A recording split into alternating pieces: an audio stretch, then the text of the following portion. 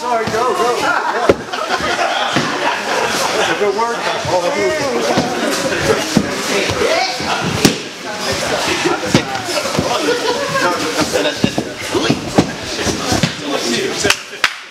Okay.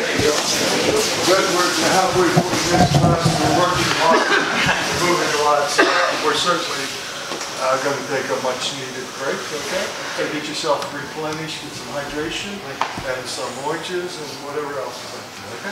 Thank you. Thank you. Thank you.